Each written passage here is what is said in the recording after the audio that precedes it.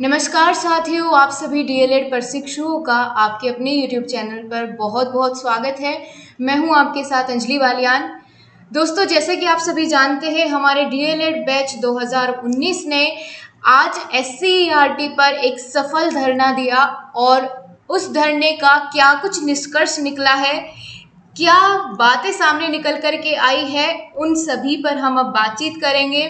और साथ ही साथ दोस्तों डीएलएड 2019 बैच के सभी प्रशिक्षुओं ने बहुत ही एकता के साथ आज अपनी हिम्मत दिखाई और कई घंटों की मशक्क़त के बाद एक पॉजिटिव, आप कह सकते हैं पॉजिटिव वहाँ से आदेश मिला है, या कह लीजिए कि एक पॉजिटिव वाइब दिख रही है प्रमोट होने को लेकर के, क्योंकि एस महानिदेशक ने तीन दिन का समय मांगा है कि तीन दिन का समय दीजिए आपके हित में ही निर्णय लिया जाएगा। तो चलिए एक एक कर सभी मुद्दों पर बातचीत करेंगे कि क्या कुछ निर्णय आज के धरने का निकला है क्या निष्कर्ष निकला है और किस आधार पर प्रमोट करने की बात एस महानिदेशक जी ने कही है। तो सबसे पहले तो मैं एक वीडियो के माध्यम से आपको पूरा निष्कर्ष जो है इस धरने का उससे अवगत करा देती हूँ फिर उसके बाद हम आपस में चर्चा करेंगे। तृतीय सेमेस्टर को प्रमोट करने की मांग को लेकर अभ्यर्थियों ने प्रदर्शन किया। फरवरी में छह महीने पूरे होने के बाद भी परीक्षा नहीं हुई। है एस कार्यालय पर अभ्यर्थियों ने धरना दिया। अभ्यर्थियों ने एस कार्यालय पर डीजी से मुलाकात की। डीजी ने अभ्यर्थी की मांगों को पूरा करने का आश्वासन दिया है जो कि बहुत दिनों से दिया जा रहा है। लेकिन आश्वासन से किसी का पेट नहीं भरता और कुछ होता नहीं है। आश्वासन के बाद एक और आश्वासन एक और आश्वासन के बाद एक और आश्वासन हो गई और हम लोग डीसी से हम लोग को बताया कि इंटरनल असेसमेंट के आधार पे डिलेट थर्ड सेमेस्टर पे प्रमोट कर दिया जाएगा। इसमें किसी का नुकसान नहीं होने वाला है।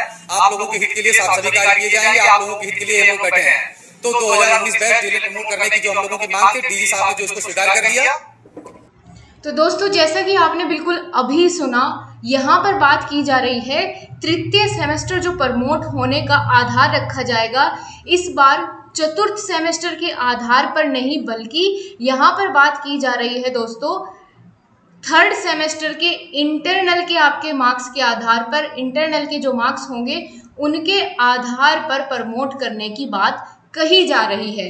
लेकिन ये एक बहुत ही अच्छा पहलू भी होगा कि अगर फोर्थ सेमेस्टर के आधार पर ना होकर, अगर इंटरनल के आधार पर प्रमोट किया जाए तो हर किसी भी प्रशिक्षु की बैक नहीं लगेगी सबसे बड़ी। और पहली बात तो यही है कि किसी भी प्रशिक्षु की बैक नहीं लगेगी। और दूसरी बात यह है कि जो दबाव होगा एक सेमेस्टर के ऊपर, दो सेमेस्टर को पास करने का, अगर चतुर्थ सेमेस्टर के आधार पर आपको प्रमोट करने की बात कही गई होती तब भी प्रशिक्षुओं के ऊपर बहुत ज़्यादा दबाव होता, क्योंकि अगर फोर्थ सेमेस्टर में बैक लगती तो थर्ड सेमेस्टर के एग्ज़ाम भी आपको फिर से देने पड़ते।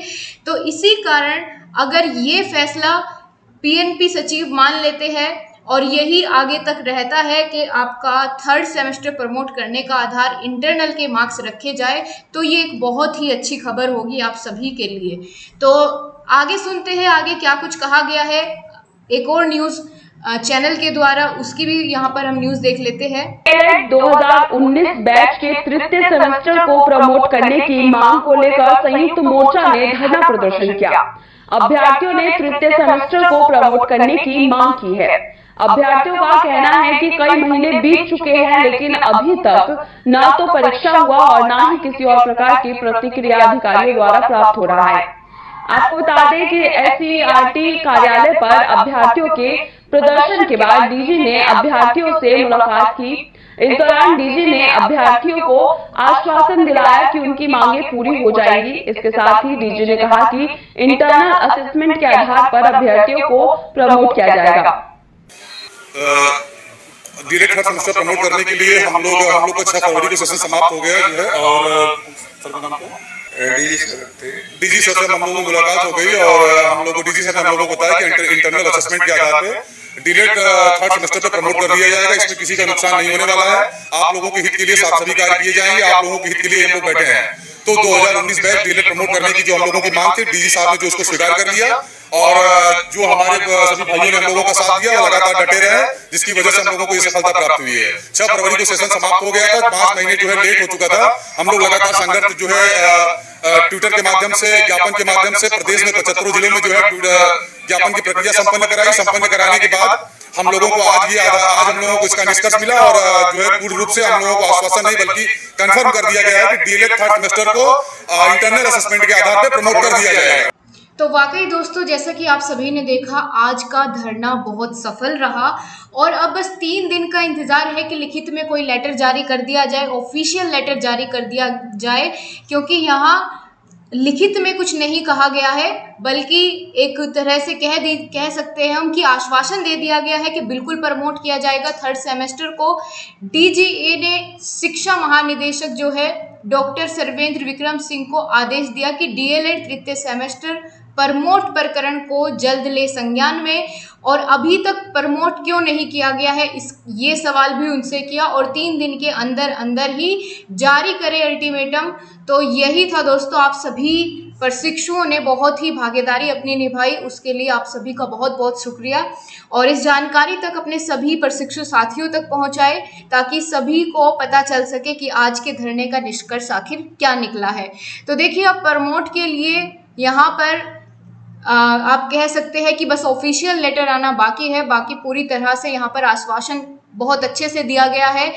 और एक बहुत ही बड़ी सफलता होगी अगर तीन दिन के बाद जल्दी से जल्दी अब कोई लेटर आ जाए ऑफिशियल जिसमें कि आपका बड़े बड़े शब्दों में लिखा हो कि थर्ड सेमेस्टर को प्रमोट कर दिया गया है और इंटरनल के मार्क्स के आधार पर तो एक बहुत ही अच्छी बात होगी। और दोस्तों, आपके लिए एक और जानकारी यह भी है कि आप लोगों की जिनकी भी इंटर्नशिप पूरी हो गई है, वो अपने लेटर स्कूल से लेकर के अपने कॉलेज में जमा करा दे। जितना जल्दी हो सके उतना जल्दी अपने काम को फिनिश करें और जिनकी अभी तक इंटर्नशिप पूरी नहीं हुई है, वो अपने एक बार स्कूल में कांटेक्ट कर ले कि वो ऑनलाइन अगर आपकी, आप कह सकते हैं, अगर ऑनलाइन आपकी इंटर्नशिप कराना चाहे तो ऑनलाइन पूरी कर लीजिए, उसको जब तक स्कूल नहीं खुलते हैं। और अगर ऑनलाइन नहीं कराना चाहते हैं तो फिर आपको स्कूल खुलने का वेट करना पड़ेगा जिन प्रशिक्षुओं की अभी तक इंटर्नशिप पूरी नहीं हो पाई है। तो बहुत ही जल्दी से अपना पूरा काम फिनिश करिए और सभी तक इस जानकारी को दोस्तों पहुंचाइए। इन जितने भी प्रशिक्षु वहाँ पर गए, उन सभी ने बहुत ही हिम्मत के साथ काम लिया और मैं आपसे उम्मीद करूँगी कि आप लोग इनकी मेहनत को ऐसे ही जाया नहीं जाने देंगे। सभी प्रशिक्षुओं तक शेयर करें इस वीडियो को और सब तक जानकारी को पहुंचाएँ। आप सभी का बहुत बहुत धन्यवाद। आपसे फिर मुलाकात होगी, तब तक के लिए नमस्कार। अब सभी अपडेट्स के लिए इस चैनल को सब्सक्राइब करके रखिए, यहीं पर आपको सारी की सारी जानकारियाँ दी जाएगी। धन्यवाद साथियों।